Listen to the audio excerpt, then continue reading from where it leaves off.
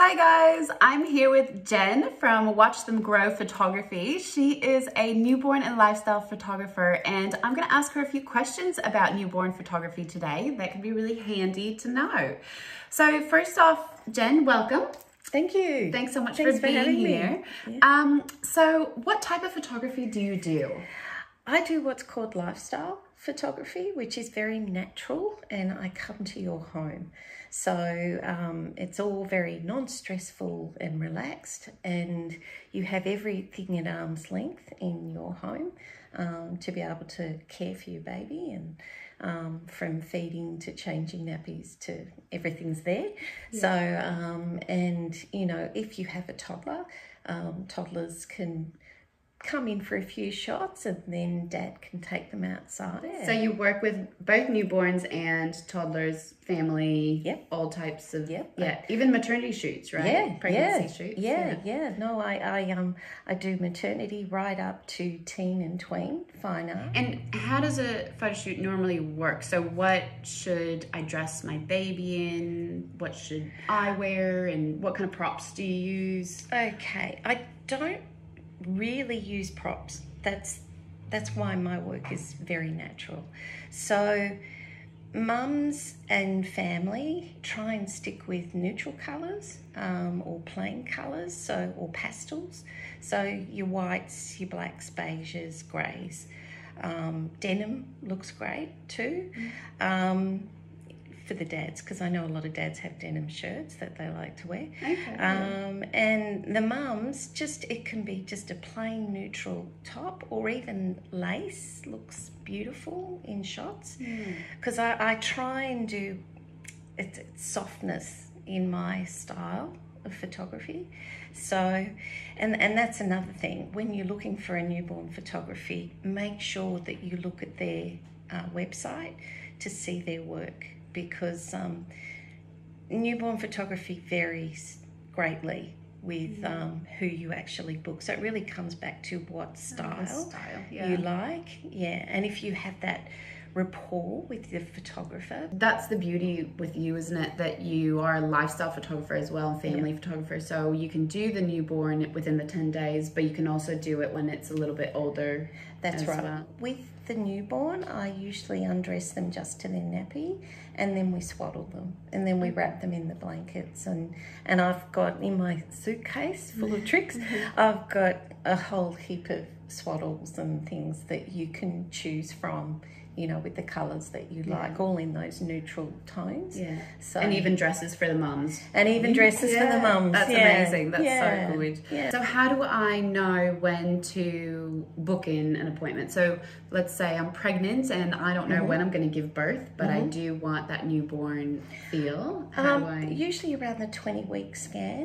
Uh, you know, if you want a maternity as well, um, I book in then and what I do is I book in your due date, uh, not book in, sorry, pencil in your due date in my diary. So, and I leave room around that date okay. for and your shoot. And, then, I just call you when. That's right. When once once the baby's born, then we lock it all in. What if baby is very unsettled and awake a lot of the time? Mm -hmm. How do mm-hmm. we work around that? The beauty of lifestyle photography is it doesn't matter if your baby is asleep or awake. Um, there's certain things that you do that I get you to do prior to me arriving at the house. Mm. So if you can feed the baby just beforehand, um, hopefully they've had a bit of a nap, but if they haven't, that's fine too.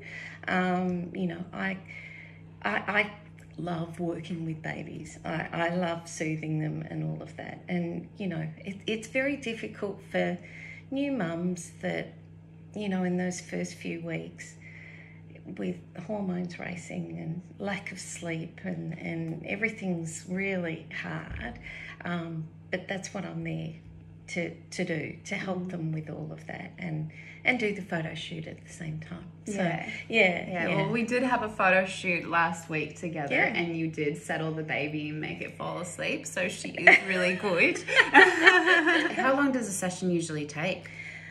Um, it varies. It really depends on Bub and also if there's a toddler, the toddler can make the shoot go longer. Um, so usually on average for a newborn shoot, it's about two and a half, three hours. Okay. Um, you know, and I will stay there for as long as needed.